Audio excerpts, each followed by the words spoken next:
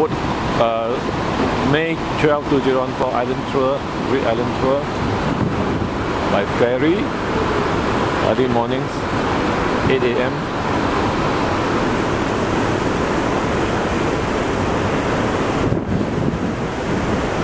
This ferry takes about 4 hours to arrive at the island. Quite chilly, May